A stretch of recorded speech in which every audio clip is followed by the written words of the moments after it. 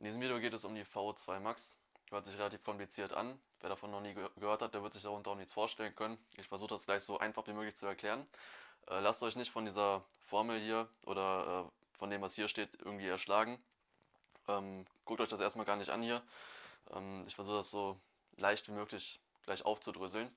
Erstmal ist es wichtig zu wissen, was ist die VO Max überhaupt? Äh, die VO Max ist das maximale Sauerstoffaufnahmevermögen. Das bedeutet, man schaut sich an, wie viel Sauerstoff nimmt ein Mensch bei einer Belastung auf, wie viel Sauerstoff transportiert er über das Blut während der Belastung und wie viel Sauerstoff kann dann in den Zellen letzten Endes verwertet werden.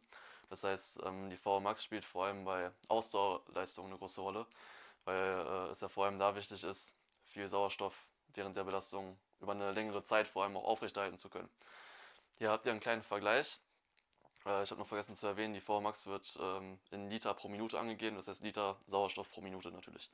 Ähm, hier habe ich euch einen kleinen Vergleich aufgeführt, nämlich bei trainierten Ausdauersportlern sieht man, dass die VMAX zwischen 5 bis 6 Litern ungefähr liegt.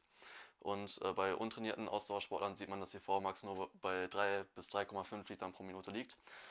Da könnte man ja ganz einfach daraus ableiten, dass eine hohe VMAX bedeutet, dass man gute Ausdauerleistung erbringt. Dem ist allerdings nicht so denn ähm, bei der VO Max, ähm, da werden so Faktoren wie Körpergewicht und ähm, auch der mentale Aspekt nicht berücksichtigt, denn man darf auch nicht vergessen, dass Ausdauer ähm, nicht nur die physische, sondern auch die psychische Ermüdungswiderstandsfähigkeit meint. Was Ausdauer bedeutet, dazu habe ich auch schon mal ein Video gemacht, das verlinke ich in der Beschreibung. Das heißt, VO Max ist äh, kein Garant dafür, eine gute Ausdauerleistung zu bringen. Das heißt, es wird dadurch nicht garantiert. Allerdings ist eine hohe V2 Max ähm, die Voraussetzung oder auch die Basis dafür, äh, für gute Ausdauerleistung. Denn man muss ja für eine gute Ausdauerleistung viel Sauerstoff aufnehmen und vor allem äh, verwerten können. So, äh, die VO2 Max, die lässt sich mit einer bestimmten Formel berechnen, die hier steht. Ähm, was das jetzt alles bedeutet, wisst ihr vielleicht nicht. Ich versuche versuch das jetzt zu erklären, damit man es versteht. Man hat einmal das Herzminutenvolumen und das multipliziert man mit der arteriovenösen Sauerstoffdifferenz. Ähm, fangen wir erstmal beim Herzminutenvolumen an. Das errechnet sich durch die, indem man die äh, Herzfrequenz ähm, mit dem Schlagvolumen multipliziert. Die Herzfrequenz ist ja einfach, kennt ja jeder. Ähm, das bedeutet, wie oft das Herz pro Minute schlägt. Ähm, und das multipliziert man mit dem Schlagvolumen und das Schlagvolumen bedeutet, wie viel ähm, Volumen an Blut mit einem Herzschlag durch den Körper gepumpt wird.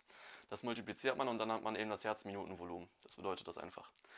So, äh, jetzt kommen wir zur arteriovenösen Sauerstoffdifferenz, die man so aufschreiben kann.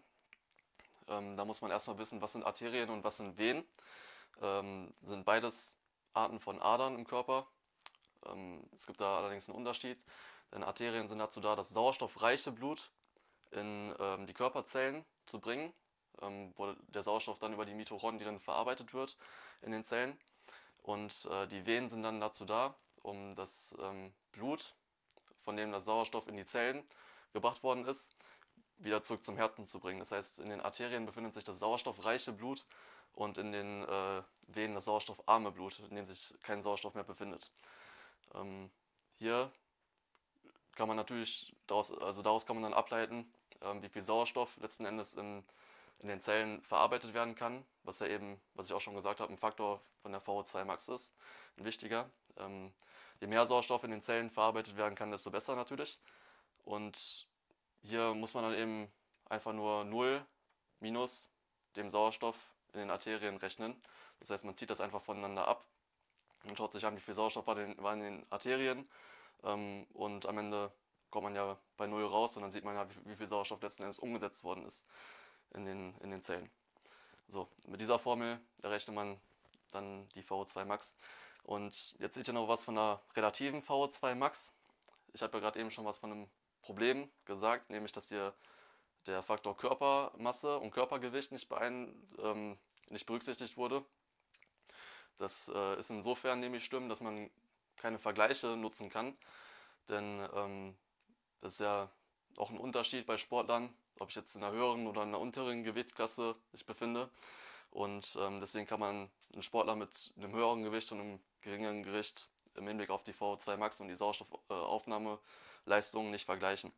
Mit der relativen VO2 Max kann man das eben und äh, da berücksichtigt man den Faktor Körpermasse eben, denn ähm, man schaut sich dann eben an, wie viel Milliliter, nicht Liter, wie bei der VO2 Max, sondern wie viel äh, Milliliter Sauerstoff ähm, pro Kilogramm Körpermasse pro Minute ähm, im Körper ähm, aufgenommen, verarbeitet und transportiert wird. So. Äh, hiermit kann man dann genauere Messungen durchführen und dann eben auch bessere Vergleiche treffen als bei der VO2 Max. Ähm, das wäre es dann hierzu. Wenn es noch Fragen gibt, dann wie immer gerne in die Kommentare.